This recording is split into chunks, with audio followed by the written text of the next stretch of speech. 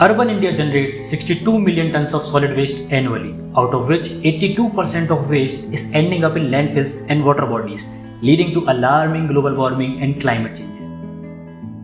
Namaste, my name is Anurag Asati, co-founder The Kabadiwala. After my 10 year of experience working on ground in the waste management sector, we have built an ecosystem which helps in bringing that fragmented waste industry into one platform through technology. Through the Kabadiwala app, waste generators like household and businesses can easily sell their recyclables. We ensure social inclusion of informal sector as we empower them through training and workshops and collect waste from them at fair value.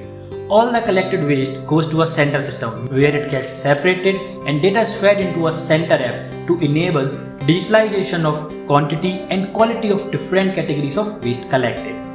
The waste material is further listed on a marketplace where it is sold to recyclers.